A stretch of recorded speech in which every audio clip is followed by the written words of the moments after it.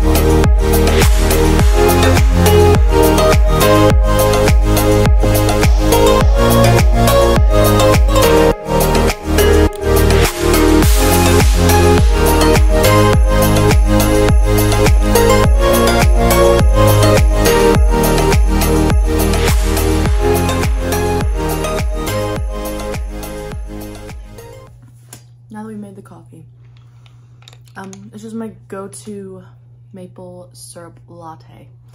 Um, but I made some homemade whipped cream, so it's delicious. All right, the books I acquired in March. I just found so many. And then Book Outlet had a book sale the thrift store. Um, one of these books was given to me. Another one I bought like months ago, back before we moved. Um, I pre-ordered it. So I literally, I had to send it to my friend's address here because I didn't, I couldn't send, give my address yet for where we were before we moved. So, and then obviously the thrift store and then some I just bought because I wanted them. So am I a little bit ashamed? I am a little bit ashamed. Because now my physical TBR is it's not Carmen's physical TBR. Go watch uh, Carmen's video. I'll try to remember to see if I can link it in the description it's amazing. Um, her video about her shelf inventory and um, she, let's just say her physical TBR is quite large and uh, mm, I'm glad I'm not quite that bad, but it's fine. We all love options, am I right? My tripod is leaning. Oh well, who cares? All right, let's just go ahead and start. I don't think I'm going to take long. And if you hear squeaking, it's my chair is squeaking. Um, this is one I got at the thrift store. Restart by Gordon Korman. I had never before heard of it, um, but I want to find more um, middle grade. I think this is like youth middle grade. Um, and so it's $2 at the thrift store. I was like, you know what? I'm going to pick it up. I have not read it yet. Um, what is it even about? It says, Chase doesn't remember falling off the roof. So it's about a little boy who apparently falls off the roof who loses his memory. So it's called Restart, Lose Your Memory, Find Your Life. I have no idea if this is gonna be good. I'm gonna try to read the first sentence. I'm gonna take, Chantel does this in her book hauls, so I'm gonna see if I can remember to do this in all these books. Maybe not the nonfiction, but anyways. Chapter one, I remember falling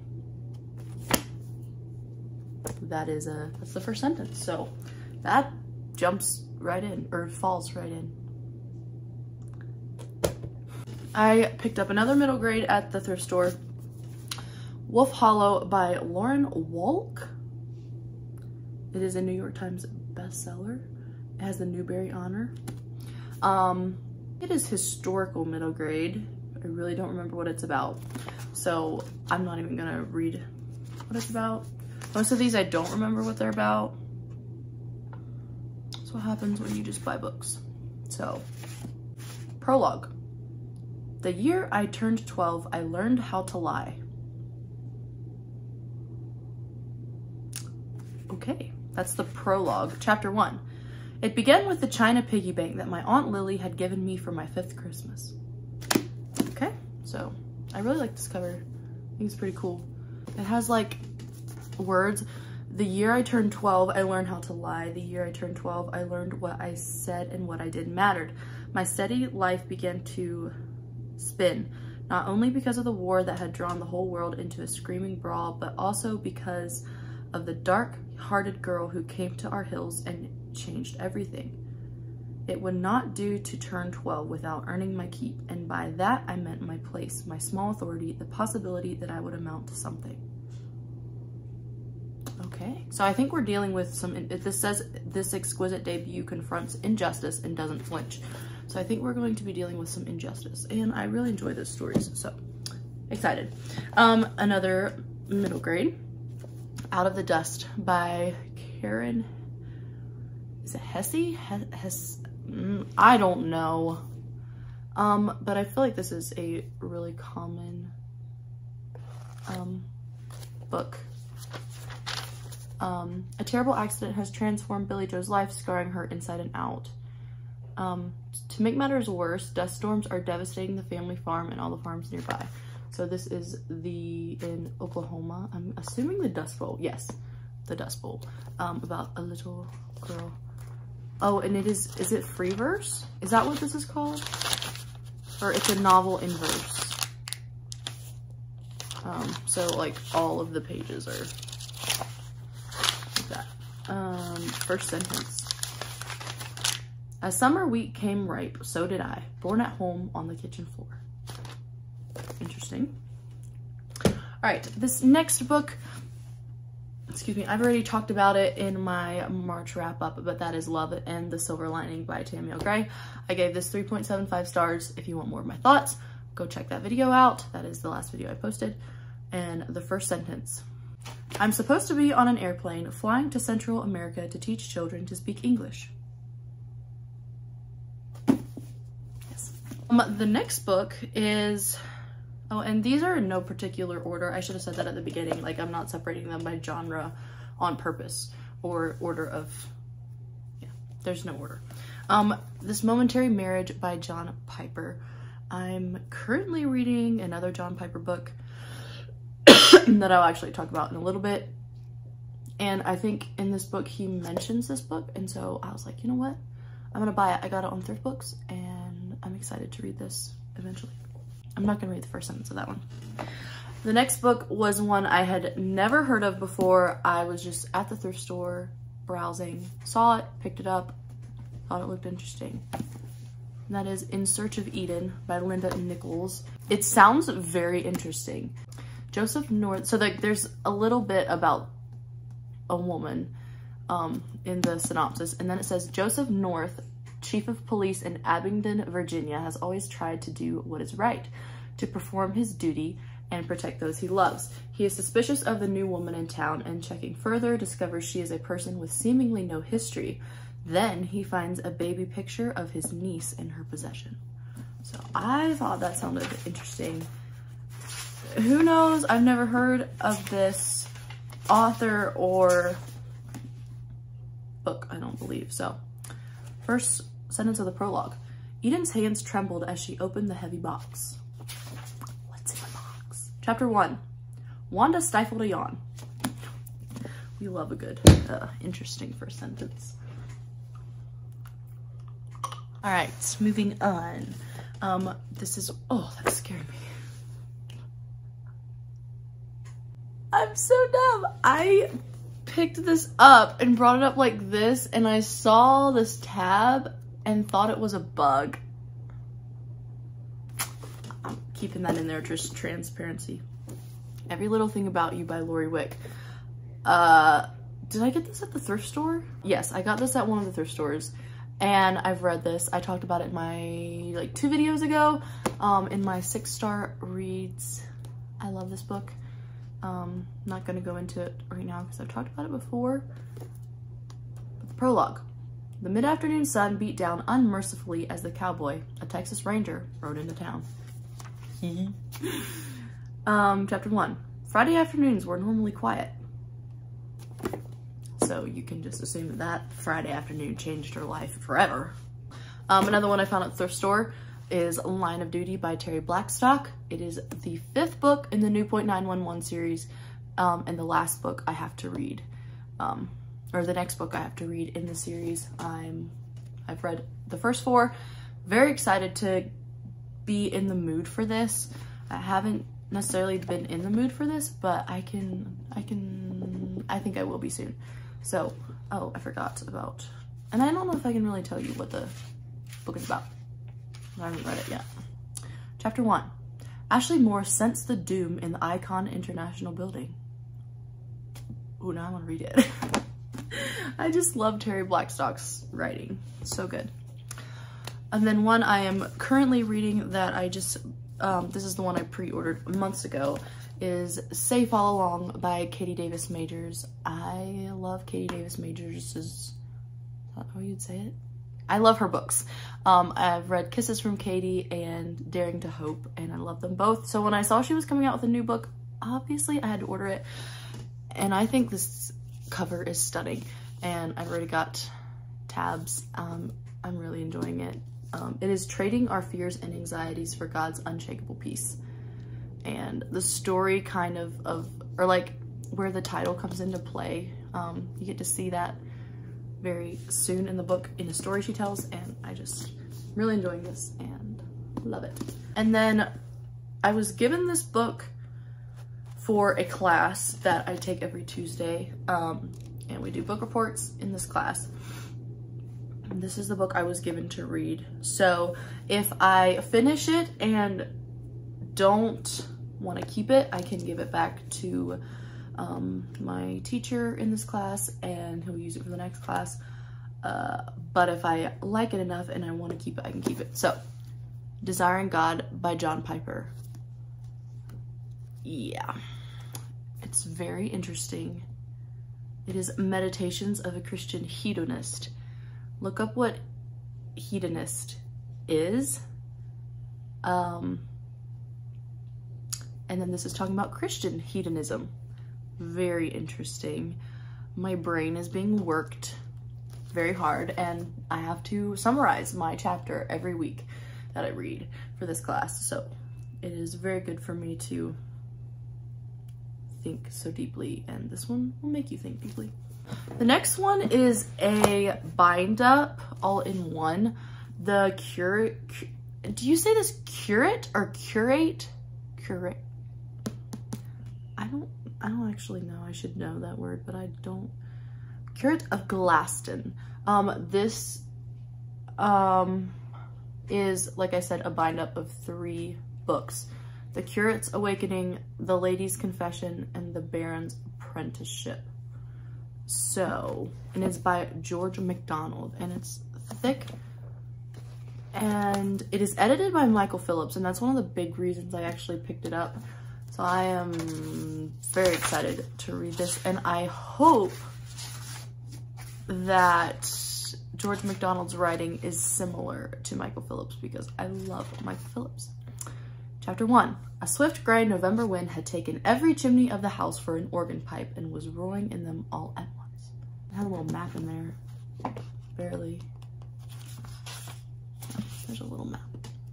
So that's cool. The next book I'm super excited and interested. This is a Michael Phillips book, Are We Even Surprised? Uh, the Legend of the Celtic Stone by, or Legend of the Celtic Stone by Michael Phillips. An epic saga of Scotland and her people.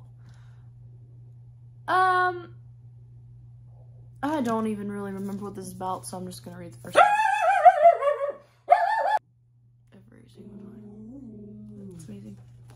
So like I was saying, there's a really cool map.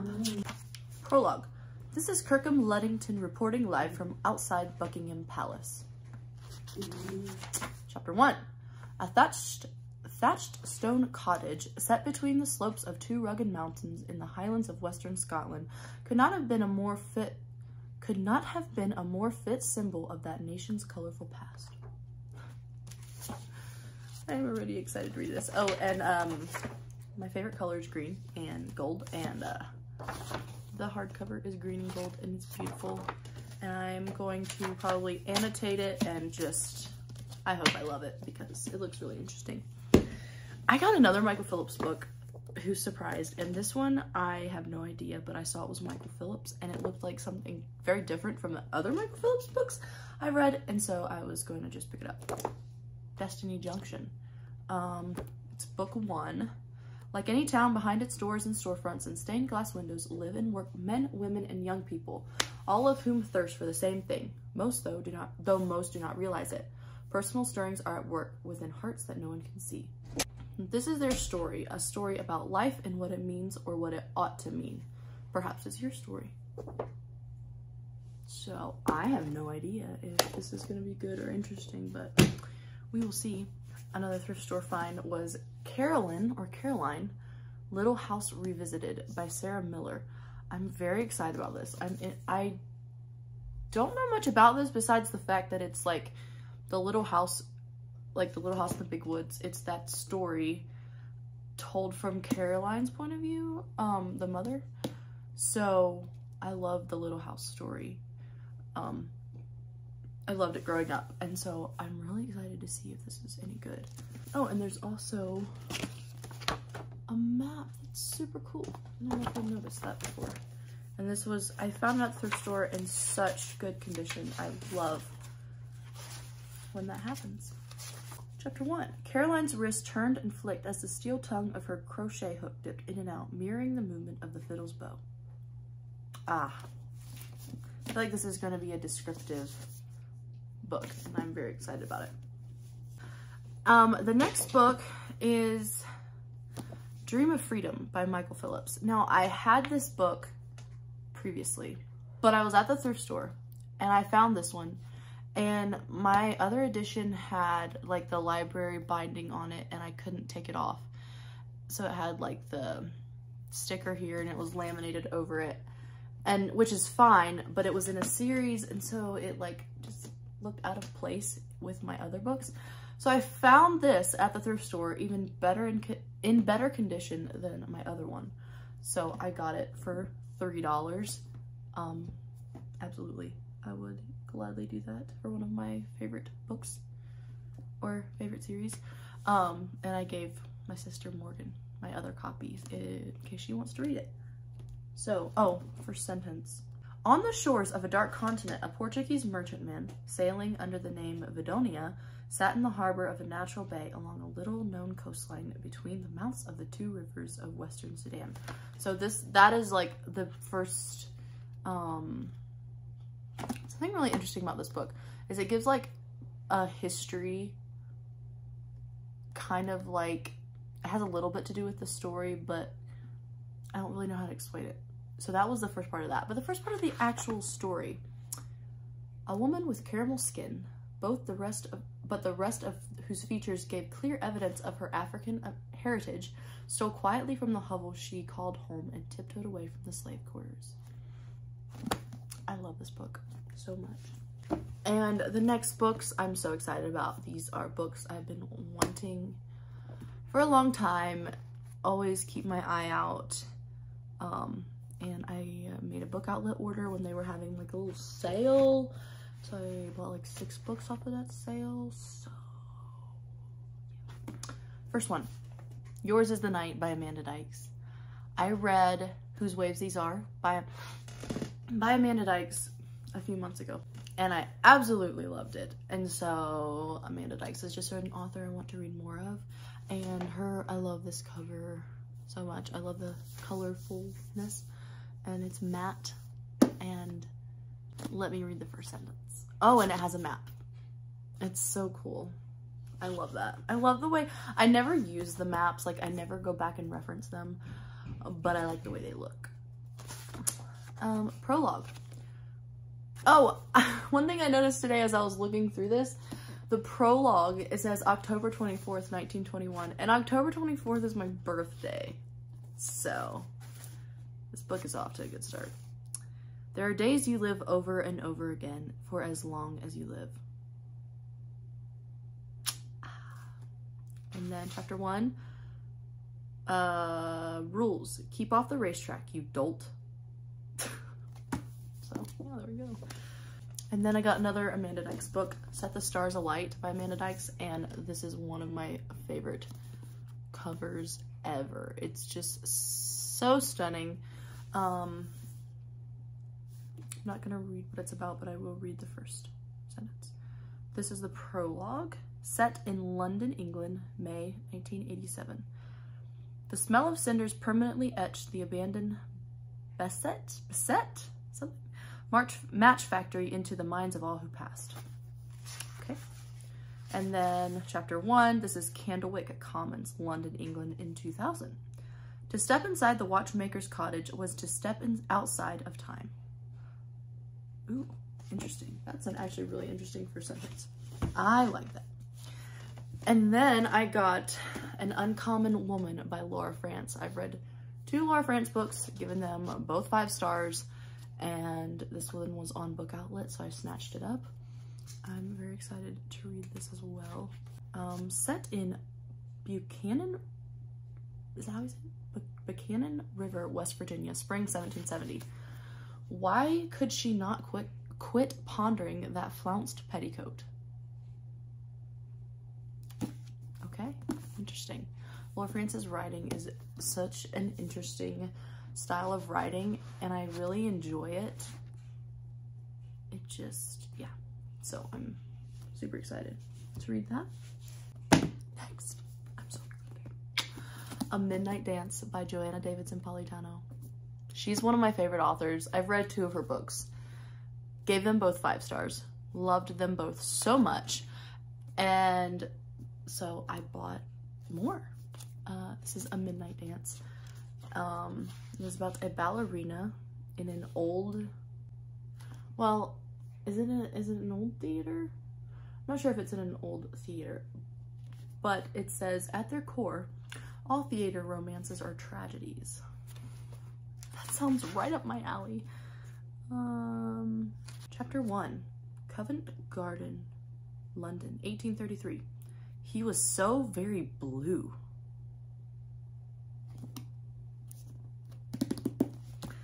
And then I got another Joanna, Joanna Davidson Politano book, The Lost Melody.